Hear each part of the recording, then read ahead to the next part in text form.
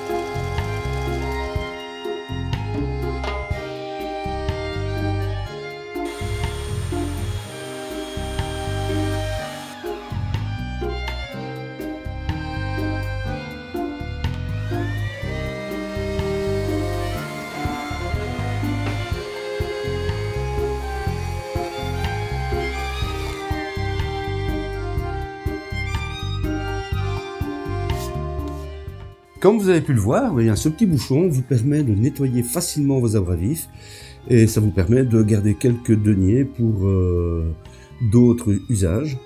Voilà. À bientôt pour euh, une autre vidéo trucs et astuces et ne manquez pas la petite minute culturelle.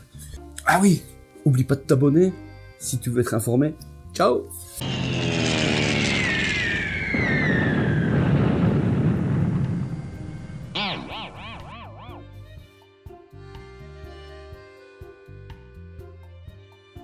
La minute culturelle. Eh oui, pourquoi pas.